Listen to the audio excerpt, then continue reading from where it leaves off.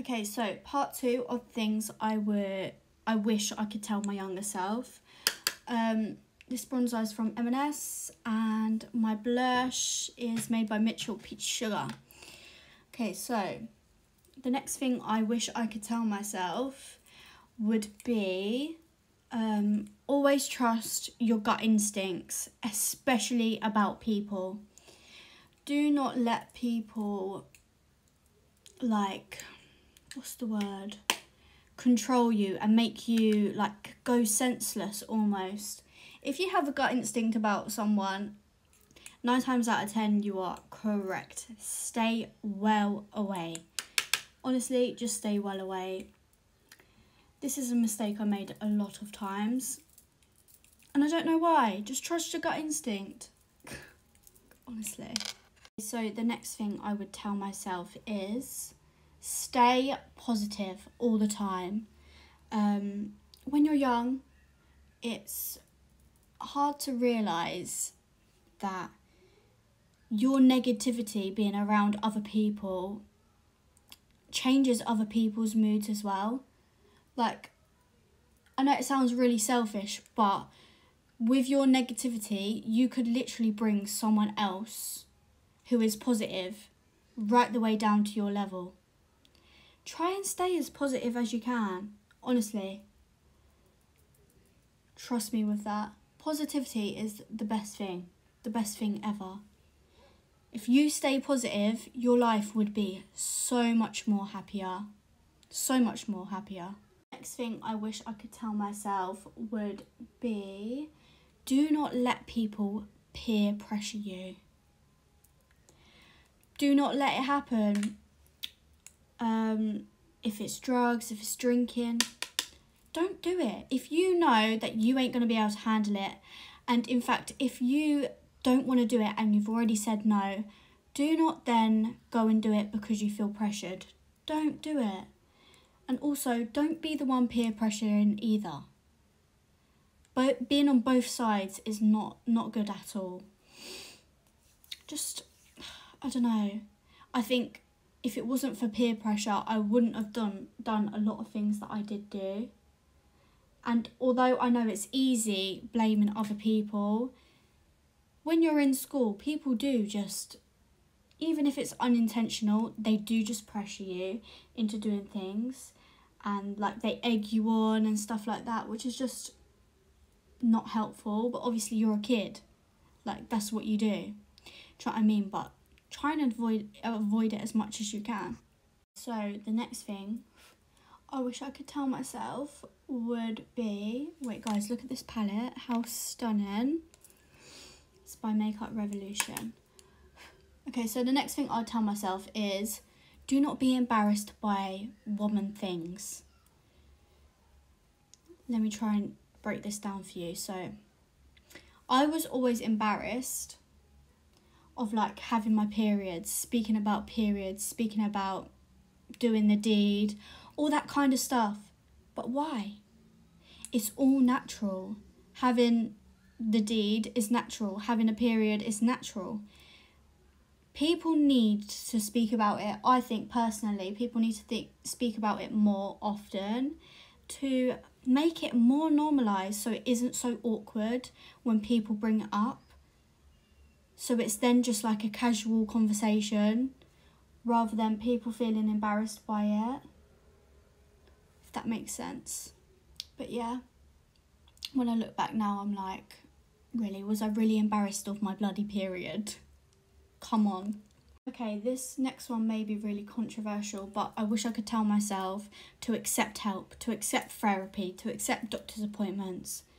I had therapy for two years after avoiding it for so, so, so, so long and saying no because it was embarrassing and because none of my other friends had it, blah, blah, blah, blah, blah.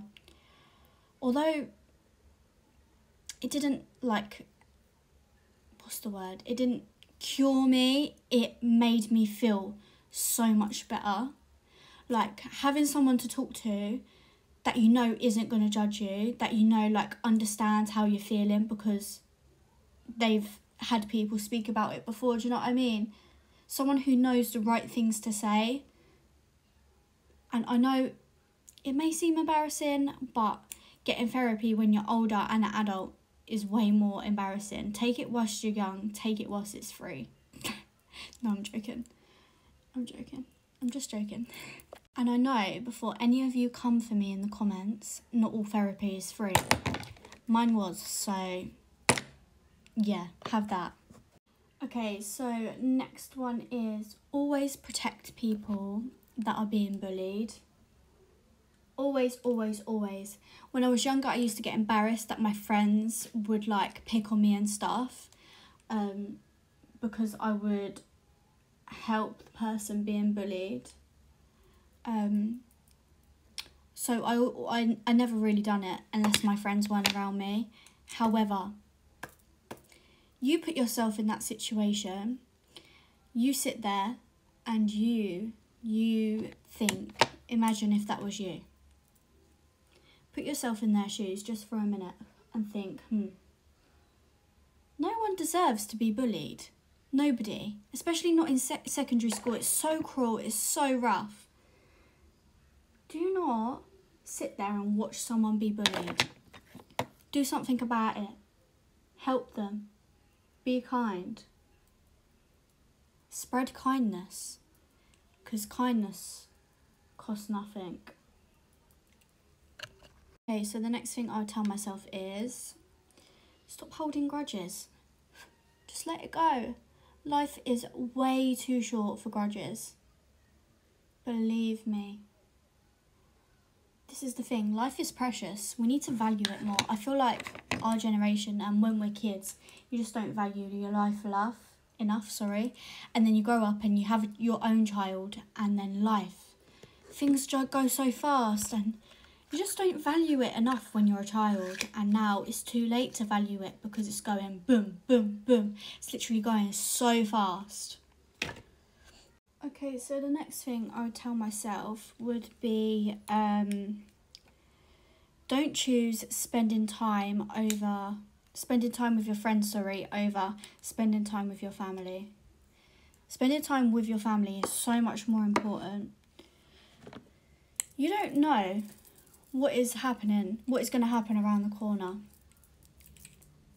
Family time means everything to people. Always, always, always choose spending time with your family over anything. Trust me on that. Because I never used to, and now I regret it. Family time is way more special than spending time with friends. Because you can spend time with your friends any day. You can't see your family all the time. Well, I don't know if you can or not, but. Especially because most of mine live so far away. It's not easy going to see them. Okay, so the next thing I would tell myself would be stop being the goddamn class clown in school and actually concentrate I wish I concentrated, I wish I stayed at school, I wish I had my GCSEs because now I'm going to spend a life of regretting it. And yes, I know people are going to come for me in the comments and say, well, you can retake it. But if I had done it the first time, I wouldn't be sitting here in this position, would I? Okay, so the final thing that I would tell myself would be to take some time for myself to heal. If I've gone through something horrific, to heal. Take some time to heal. Or even, I don't even need to go through anything. I could have a bad day. Go do some self care. De stress yourself. Have a bath. Put some bath salts in. Put some bubbles in. Make yourself feel okay because at the end of the day, it's only you who's got your own back.